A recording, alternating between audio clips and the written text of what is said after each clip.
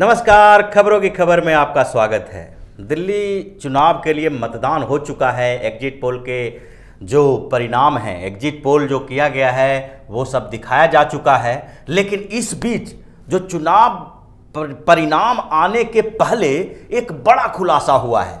और ये जो साजिश रची गई थी दिल्ली चुनाव के समय जो कांग्रेस और आम आदमी पार्टी के बीच के साठ गांठ की जो साजिश थी, उसका एक बड़ा खुलासा सामने आया है। आज दो तरह की चीज़ें देखने को मिल रही है। एक तरफ़ तो कांग्रेस और आम आदमी पार्टी के बीच के इस नेक्सस का पर्दाफाश हो रहा है और दूसरे तरफ़ इस नेक्सस के बावजूद इस पूरे साजिश के बावजूद आम आदमी पार्टी के नेताओं के बीच एक दहशत का माहौल है। वो लोग अभी भी निश्चिंत नहीं हैं और एक नए राग अलापने लगे हैं, जो उनका नया राग तो इसलिए कहा जा सकता है कि इस चुनाव में नया राग अलापा है, क्योंकि ये पहले से ही, ये पहले से ही ऐसी बातें करते रहते हैं और जब भी ये ऐसी बातें करते हैं, उसका मतलब होता है कि ये हार का डर इनको सताने लगा है। वो है ईवीएम राग। तो ये दोनों बीच, दोनों जो मुद्दे उठ रहे हैं, उसको एक एक करके हम लोग पहले देखें कि आखिर ऐसा हुआ क्यों।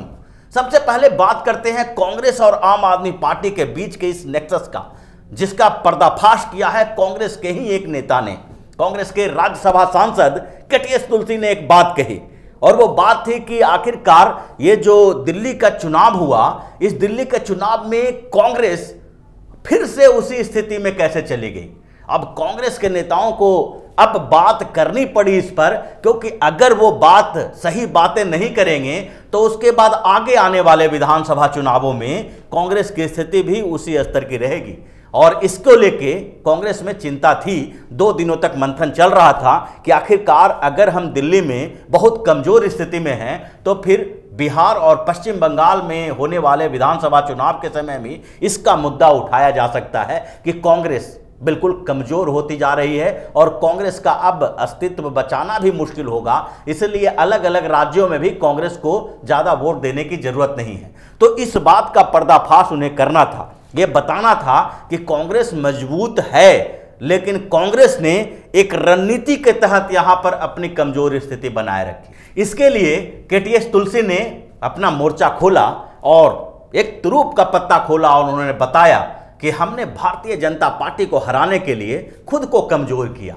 अब खुद को कैसे कमज़ोर किया, इस बात के लिए भी उन्होंने बताया कि जो दिल्ली में आम आदमी पार्टी, कांग्रेस और भारतीय जनता पार्टी, ये तीन लोगों के बीच, ये तीन पार्टियों के बीच चुनाव हो रहा था और त्रिकोणीय मुकाबला जहाँ जहाँ होता, वहाँ भारतीय जनता पार्टी को फ़ायदा होता। तो इसके लिए कांग्रेस ने एक रणनीति बनाई कि कुछ क्षेत्र में, जहाँ पर कांग्रेस मज़बूत स्थिति में है, जैसा इन्होंने भी कहा है और ऐसे, ऐसा माना जा रहा है कि कांग्रेस उन्हीं क्षेत्रों में थोड़ी अच्छी स्थिति में रहेगी जो मुस्लिम डोमिनेटेड एरिया है।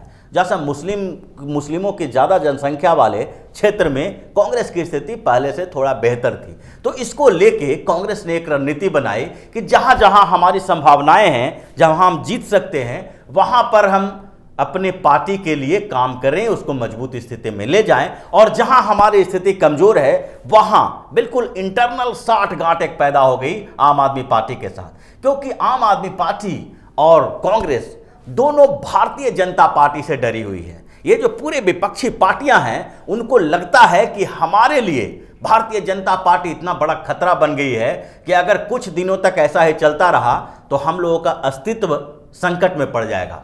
छोटी छोटी पार्टियाँ खत्म हो जाएगी और राष्ट्रीय पार्टियों के लेवल पर भारतीय जनता पार्टी जिस तरह से अलग अलग राज्यों में परफॉर्मेंस कर रही है, जैसे पश्चिम बंगाल में जिस तरह से इसका उभार हुआ है, बिहार में जदयू के साथ मिलके अभी आगे भी संभावनाएँ यही है कि वहाँ पर चुनाव जीतेगी तो ऐसी स्थिति में इन लोगों को डर पैदा हो गया है और कांग्रेस को इसका सबसे ज़्यादा डर है।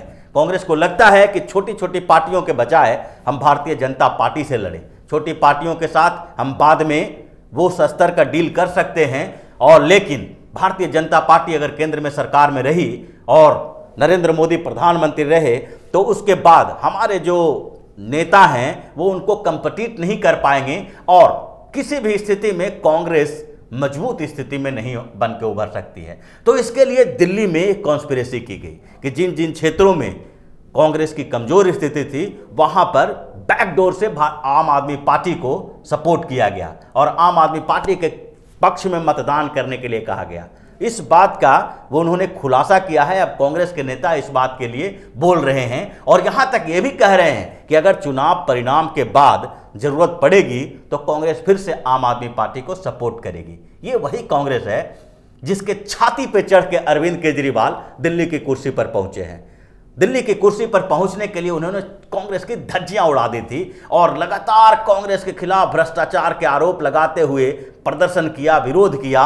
रामलीला मैदान से लेकर जंतर मंतर तक आम आदमी पार्टी, जो उस समय आम आदमी पार्टी नहीं थी, अरविंद केजरीवाल के नेतृत्व में आंदोलन चल रहा था, इन्होंने कांग्रेस के खिलाफ ऐसा माहौल बना दिया कि कांग्रेस उसके बाद से दो चुनावों में उबर नहीं पा रही है। लेकिन फिर भी कांग्रेस को खतरा सबसे ज़्यादा भारतीय जनता पार्टी से है और वो इस तरह की कॉन्स्पिरेसी में शामिल हो सकती है कि अपनी पार्टी को ही कमज़ोर करके आम आदमी पार्टी को जिताने की कोशिश करे ताकि भारतीय जनता पार्टी को हराया जा सके।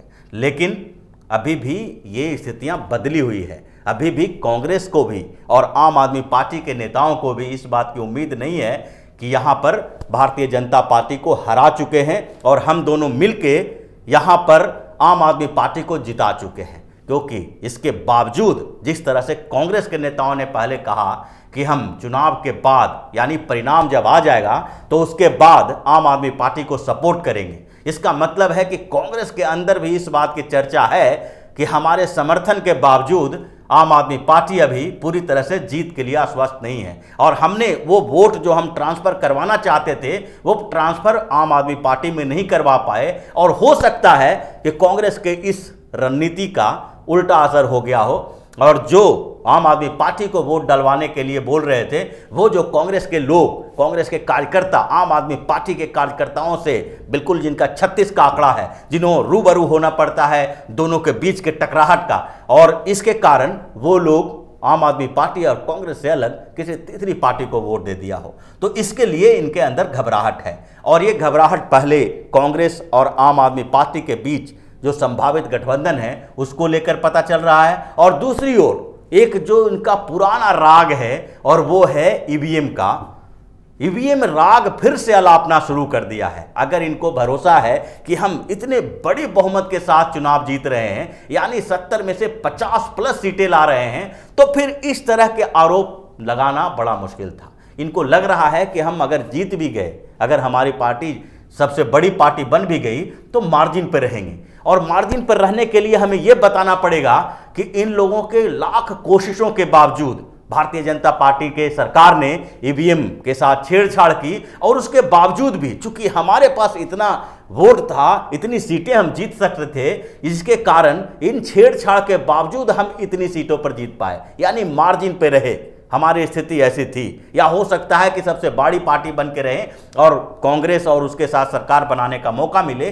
तो उस समय ये बताएँगे कि हम लोगों के खिलाफ एक कॉन्स्पिरेसी चल रही है। ईवीएम मशीन के साथ छेड़छाड़ करके हमें हराने की कोशिश की जा रही है और इसके लिए ये इनके पास ये भी तर्क होता है कि अगर सबसे बड़ी पार्टी बन गए तो ये भी बोलने के लिए स्वतंत्र हैं और आम आदमी पार्टी क्या कांग्रेस भी यही बोलती है कि हम लोग जो सबसे बड़ी पार्टी नहीं सबसे ज़्यादा सीट यानी कि बहुमत से ज़्यादा सीटें लाने वाले थे, उसको एक कॉन्स्पिरेसी के तहत बहुमत के आसपास लाके छोड़ दिया गया। जैसे कई राज्यों में जब भाजपा की हार हुई थी और भाजपा का थोड़ा ज़्यादा सीटें जो थी, भाजपा और कांग्रेस की बहुत ज़्यादा अंतर नहीं थी तो उस समय भी ईवीएम का मुद्दा उठाया जा रहा था। लेकिन यह बताया जा रहा था कि ये केंद्र सरकार जो है और भारतीय जनता पार्टी है, ये जानबूझकर कुछ राज्यों में चुनाव गंवाना चाहती है ताकि ईवीएम का मुद्दा जो उठ रहा है, उसको शांत किया जा सके। और बाद में जब केंद्र का चुनाव हो, लोकसभा चुनाव हो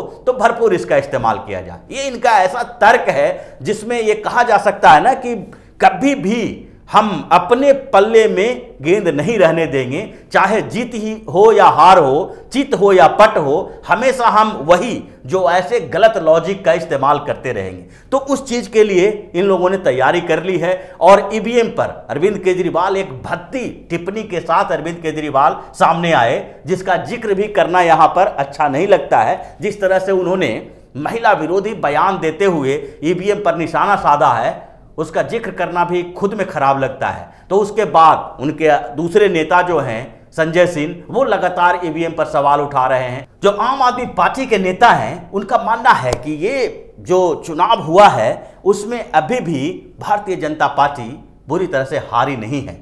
भारतीय जनता पार्टी और आम आदमी पार्टी के बीच के इस टक्कर में किसी का पड़ा भारी हो सकता है और जो एग्जिट पोल के, और जो एग्जिट पोल सामने आए हैं, उस पर किसी को भरोसा नहीं है। एक तो भारतीय जनता पार्टी ने इंटरनल सर्वे और जो मंथन हुआ, विचार विमर्श हुआ इन पार्टी के नेताओं के बीच, उसने, उन्होंने भी बोल दिया कि ये रिज़ल्ट है जो चौंकाने वाला आने वाला है, ये रिज़ल्ट ऐसा नहीं होगा जैसा कि एग्जिट पोल में दिखाया गया है। दूसरी तरफ़ कांग्रेस के नेता भी यही बात कह रहे हैं और तीसरी तरफ़ आम आदमी पार्टी के नेता के बीच ये डर का माहौल बना हुआ है। वो लोग बार बार दूसरे, तीसरे मुद्दे पर किसी न किसी तरह से ये दिखाने की कोशिश कर रहे हैं कि अगर चुनाव परिणाम उल्टा आया तो इसका मतलब है कि यहाँ पर ईवीएम के साथ छेड़छाड़ की गई है। किसी न किसी तरह से चुनाव को प्रभावित करने की कोशिश की गई है, चुनाव आयोग की भूमिका संदिग्ध है। तो ये सारे सवाल इस बात का की ओर इशारा करते हैं कि अरविंद केजरीवाल अभी भी डरे हुए हैं, वो दहशत में हैं कि चुनाव के नतीजे आने के बाद हमारा क्या होगा।